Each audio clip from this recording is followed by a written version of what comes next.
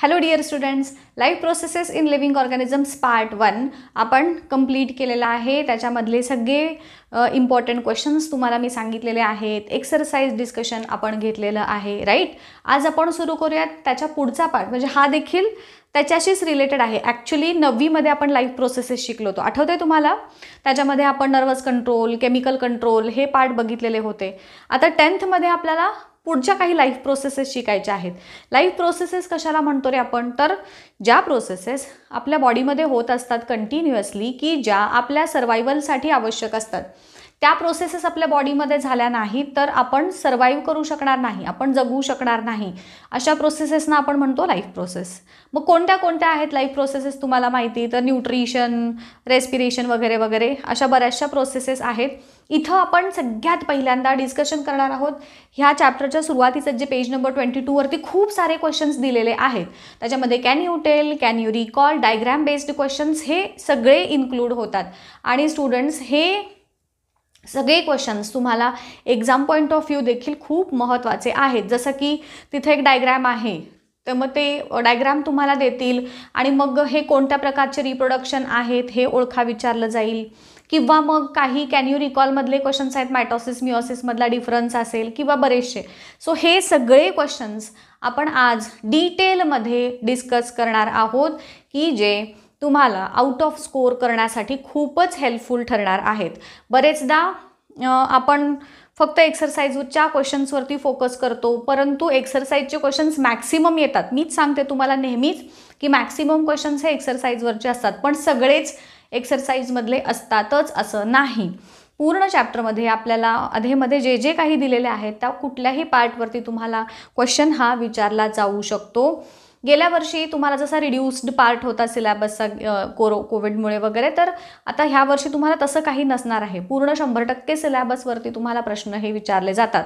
So आपण त्या दृष्टीनं प्रिपरेशन करायची आहे राईट सो आपल्या आपण पहिल्यांदा हे जे कॅन यू रिकॉलवाले क्वेश्चन्स आहेत पेज नंबर ट्वेंटी टूवरचे ते डिस्कस करूयात वन बाय वन हां ह्याचे आन्सर्स तुम्हाला लवकरच मी आपल्या वेबसाईटवरती अपलोड करणारच आहे. एक्सप्लेनेशनसाठी व्हिडिओ बघा आन्सरसाठी वेबसाईट बघा. ठीक आहे? बघूयात पहिला क्वेश्चन काय आहे. त्यातला पहिला प्रश्न आहे which are the important life processes which occur in living organisms असा काही क्वेश्चन आहे राईट त्या क्वेश्चनचा आन्सर तुम्ही काय सांगणार? मग ज्या वेगवेगळ्या लाईफ प्रोसेसेस आहेत excretion nutrition digestion control nervous coordination जे कंट्रोल आणि कोऑर्डिनेशनमध्ये येतात केमिकल कंट्रोल नर्वस कंट्रोल ते सगळे प्रोसेसेस तर ह्या व्हरायटी ऑफ प्रोसेसेस मग सेन्सेशन असेल बरोबर? तर हे येतात त्या क्वेश्चनचा आन्सर की ह्या ह्या लाईफ प्रोसेसेस ह्या सगळ्या आत्ता ज्या तुम्हाला सांगितल्या त्याची तुम्ही नावं सांगाल. दुसरा क्वेश्चन काय आहे?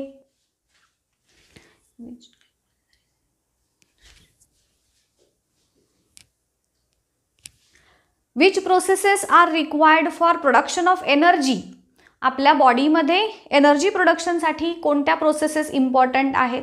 तर आत्ता ज्या ज्या आपण बघितलेल्या होत्या त्यापैकी पहिली म्हणजे न्यूट्रिशन दुसरी म्हणजे रेस्पिरेशन आणि तिसरी म्हणजे सर्क्युलेशन ह्या तीन प्रोसेसेस आपल्याला एनर्जी प्रोडक्शनसाठी यूजफुल असतात. कसं? ते सांगते बघा. रेस्पिरेशन रेस्पायरेटरी सिस्टम जी आहे आपली बघा हां. त्या क्वेश्चनचं आन्सरचं एक्सप्लेनेशन काय आहे बघा. तुम्ही तिथं एक्सप्लेनेशन लिहायचं गरज नाही आहे फक्त हे तुमच्या तुम्हाला कन्सेप्ट समजण्यासाठी सांगते. रेस्पायरेटरी आहे आणि डायजेस्टिव्ह सिस्टम आता बघा हां. एनर्जी प्रोडक्शनसाठी रेस्पायरेटरी डायजेस्टिव्ह आणि सर्क्युलेटरी सिस्टम ह्या तिन्ही कशा इम्पॉर्टंट आहेत? तर रेस्पायरेटरी सिस्टममध्ये काय होतं रे? तर ऑक्सिजन जो आहे हा ऑक्सिजन इन्हेलेशनच्या प्रोसेस थ्रू आपल्या बॉडीमध्ये येतो इनसाइड द लंग्स तिथे असणाऱ्या एल्व्हिओलायमध्ये ब्लड कॅपिलरीज असतात. आणि त्या ब्लड कॅपिलरीज च्या थ्रू हा ऑक्सिजन आपल्या ब्लडमध्ये एंटर करतो. ब्लड म्हणजेच कुठली system it is circulatory system only बरोबर? आता हा डायजेस्टिव्ह सिस्टमचा जर पार्ट बघितला तर ह्याच्यातला आपला फूड जे आहे आपण इनटेक केलेलं फूड त्याचं डायजेशन झाल्यानंतर हे जे फूड कंपोनंट्सपासून आपल्याला मिळते energy which is mainly in the form of glucose आता हे जे ग्लुकोज आहे किंवा जे सिंपल फॉर्ममध्ये कन्व्हर्जन झालेले न्यूट्रियंट्स जे आहेत ते अगेन आपल्या ब्लडमध्ये मिक्स होतात. दॅट इज सर्क्युलेटरी सिस्टम आणि मग हे दोन्ही पण म्हणजे कोण?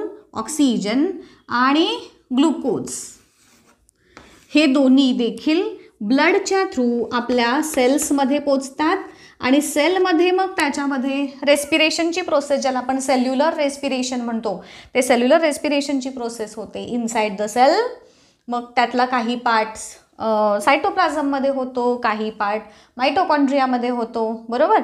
आणि मग त्याच्यापासून एनर्जी प्रोड्यूस होते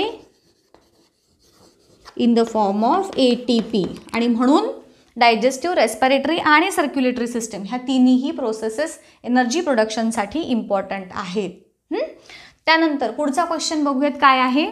Which are the import different types of cell division असा तुम्हाला पुढचा प्रश्न विचारलेला आहे.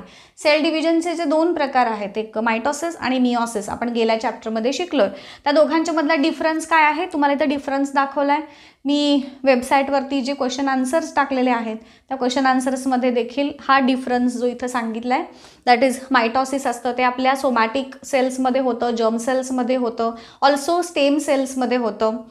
मिओसिस हे फक्त जर्म सेल्समध्ये होतं. सो मायटॉसिसमध्ये क्रोमोझोम नंबर तेवढाच राहतो. मिओसिसमध्ये क्रोमोझोम नंबर रिड्यूस होतो हाफ त्यानंतर दोन हॅप मायटॉसिसमध्ये दोन डिप्लॉईड सेल्स तयार होतात. मिओसिसमध्ये चार हॅप्लॉईड सेल्स तयार होतात. हा काही डिफरन्स जो आहे मायटॉसिस आणि मिओसिसमधला तो तुम्हाला इथे ह्या क्वेश्चनचं आन्सर म्हणून लिहायचं आहे. Then next question is what is the role of chromosome in cell division आता सेल डिव्हिजनमध्ये क्रोमोझोमचा रोल काय? क्रोमोझोम्समध्ये डी एन ए असतो which is the genetic material आणि मग during the cell division process हे क्रोमोझोम्स एका जनरेशनकडून नेक्स्ट जनरेशनकडे जेनेटिक मटेरियलला ट्रान्सपोर्ट करायचं काम करतात. सो दॅट तो त्यांचा रोल झाला. They transfer the genetic material from parents to offsprings म्हणा. किंवा one generation to next generation म्हणा. ठीक आहे? हे झाले आपले पहिले प्रश्न काय? जे कॅन यू रिकॉलमधले होते. त्यानंतर एक क्वेश्चन आहे ऑब्झर्व म्हणून. ऑब्झर्व म्हणून दिलं आहे आणि तिथे काही चित्र दिलीत तुम्हाला. ए बी सी डी अशी काही चित्र दिलीत. त्यातल्या पहिल्या क्वेश्चन पहिलं जे चित्र आहे त्याच्यामध्ये तुम्हाला एक प्लांट दिसेल. बरोबर? आणि मग हे कुठल्या प्रकारचं रिप्रोडक्शन आहे? तर त्याचा आन्सर तुम्ही लिहाल व्हेजिटेटिव्ह रिप्रोडक्शन पहिली जे आहे ऑब्झर्व जो तुमचा क्वेश्चन आहे त्याचं आन्सर आहे व्हेजिटेटिव्ह रिप्रोडक्शन म्हणजेच काय होतं रे? तर प्लांटचा जो काही रूट स्टेम लिव्हसारखे पार्ट असतात त्यांच्या थ्रू नवीन प्लांट उगवणं. त्याला म्हणायचं व्हेजिटेटिव्ह रिप्रोडक्शन आपण शिकायचं ह्या चॅप्टरमध्ये डिटेल त्याच्याबद्दल. त्यानंतर दुसरं चित्र आहे कोंबडीचं. कोंबडी अंड देत आहे असं असं त्या कोंबडीच्या पोटातलं अंड दाखवलेलं आहे. So that is sexual reproduction so इथं तुम्ही लिहाल. कारण हे मा जे कोंबडी आहे कोंबडी पिलांना जन्म देते अंडी घालते तर ती प्रोसेस सेक्शुअल रिप्रोडक्शनची आहे. त्यानंतर पुढचं जे दाखवलं एक छोटंसं सीड दाखवलं आणि त्याच्यातून कोंब बाहेर आला आहे सो त्याचा आन्सर तुम्ही लिहाल सीड जर्मिनेशन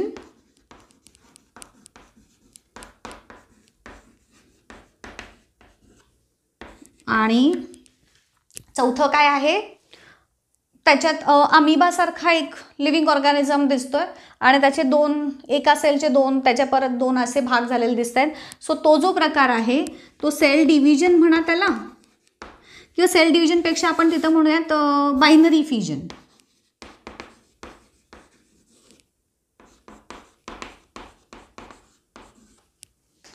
तर हे त्या डायग्रॅम बेस्ड क्वेश्चन हे विचारलेले आहेत. एका वर्षी ह्या डायग्रॅमवरती बेस्ड क्वेश्चन जे प्रिलिमचे वगैरे पेपर्स असतात मला आठवतं आहे कोणत्या तरी शाळेच्या वगैरे एक्झाममध्ये अशा प्रकारचा प्रश्न हा विचारलेला आहे डायग्रॅमवरचा सो ही आन्सर्स त्याची झाली. आता पुढचे प्रश्न काय आहेत बघूया पुढचा प्रश्न आहे कॅन यू टेल मध्ये एक चार पाच प्रश्न विचारलेले आहेत. त्यातला जो पहिला प्रश्न आहे की what is mean meant by maintenance of a species आता मेंटेनन्स म्हणजे आपल्याला आपण जे बिल्डिंगमध्ये राहतो तर त्याच्यामध्ये आपण बिल्डिंगचं कामकाज व्यवस्थित चालण्यासाठी आपण मेंटेनन्स भरतो वगैरे असं तुमच्या डोक्यासमोर येत असेल तर मेंटेनन्स ऑफ स्पेसिस म्हणजे काय असतं? सी नॉर्मली जेव्हा लिव्हिंग ऑर्गॅनिझम्समध्ये रिप्रोडक्शन होतं रिप्रोडक्शनच्या प्रोसेसमध्ये काय होतं रे? रिप्रोडक्शन दोन प्रकारचं असतं तुम्हाला माहितीच आहे एक सेक्शुअल एक असेक्शुअल मग त्या दोन्ही पद्धतीच्या रिप्रोडक्शनच्या प्रोसेसेसच्या थ्रू लिव्हिंग ऑर्गॅनिझम्स स्वतःसारखे दुसरे सजीव तयार करतात. बरोबर? मग by this process of reproduction they help किंवा they try to prevent extinction of species त्यांचा वंश पुढे चालवण्याचं काम हे ह्या रिप्रोडक्शनच्या प्रोसेस थ्रू होतं. So maintenance of maintenance of species म्हणजे काय? तर by the process of reproduction मग ते सेक्शुअल असो किंवा असेक्शुअल असो living organisms try to maintain the number of किंवा देअर काय म्हणत their generations they try to continue the generations आणि मग ह्याला म्हणायचं मेंटेनन्स ऑफ स्पेसीज त्यानंतर पुढचा प्रश्न विचारला की नवीन whether the newly produced organisms are exactly similar to the parents or they are different from the parents मग आता हे कशावरती डिपेंड करणार आहे? ऑब्वियसली ते लिव्हिंग ऑर्गॅनिझम्स कोणत्या प्रकारे रिप्रोड्यूस करतात? त्याच्यावरती डिपेंड करतं राईट जर लिव्हिंग ऑर्गॅनिझम्समध्ये सेक्शुअल रिप्रोडक्शन होत असेल तर ऑब ऑब्व्हियसली नवीन तयार होणारे जे न्यूली फॉर्म लिव्हिंग ऑर्गॅनिझम्स आहेत ते एक डिफरंट असतील फ्रॉम दर पॅरेंट्स आणि जर ते से असेक्शुअली रिप्रोड्यूस करत असतील तर they are exactly similar to that of their parents so नवीन तयार होणारे लिव्हिंग ऑर्गॅनिझम्स एक्झॅक्टली सिमिलर असतील की डिफरंट असतील हे कशावरती ठरतं? तर त्या ते कोणत्या प्रकारे रिप्रोड्यूस करतात त्याच्यावरती. त्यानंतर प्रश्न विचारला आहे की who decides whether the newly produced organisms are exactly similar to parents or not तर obviously the type of reproduction decides ते लिव्हिंग ऑर्गॅनिझम कोणत्या प्रकारे रिप्रोड्यूस करणार आहेत त्याच्यावरती ठरणार ना? ते कशा प्रकारे नवीन तयार होणारे लिव्हिंग ऑर्गॅनिझम्स हे त्यांच्यासारखे आहेत की डिफरंट आहेत? सो त्याचा आन्सर येईल the type of reproduction it either it may be sexual or asexual त्यानंतर अजून एक प्रश्न विचारला आहे की what is the relationship between newly formed organisms and cell division cell division आणि न्यूली फॉर्म ऑर्गॅनिझम्स ह्यांच्यामध्ये काय को रिलेशन आहे? तर बघा हा.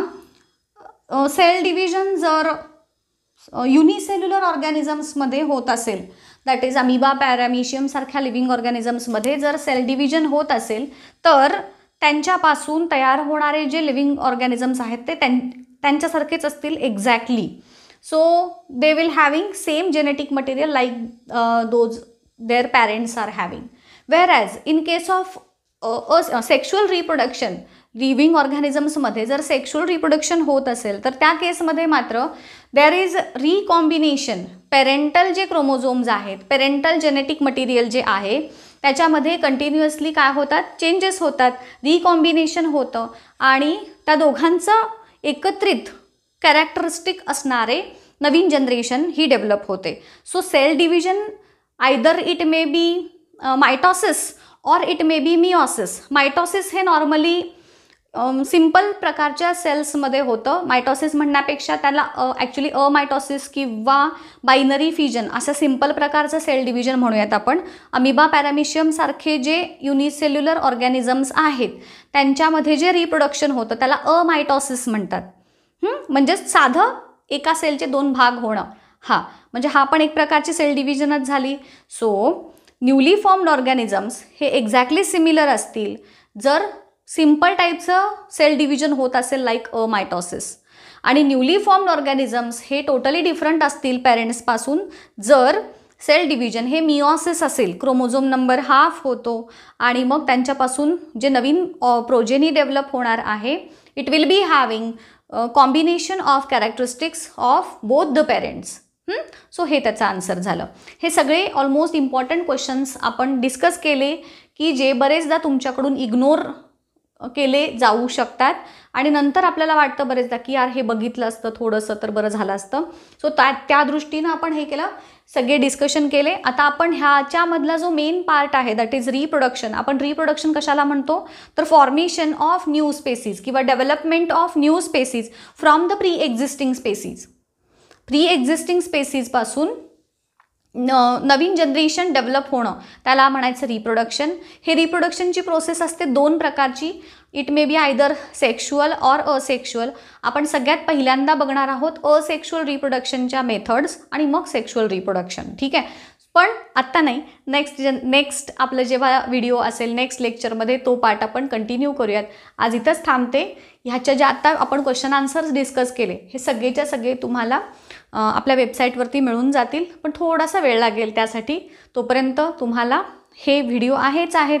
तुम्हाला लिहून घ्यायचं असेल तर पॉज करून तुम्ही त्याचे स्क्रीनशॉट काढून लिहून घेऊ शकता किंवा मग नंतर एक दोन दिवसातच आपल्या वेबसाईटवरती पण अपलोड होतील. ठीक आहे?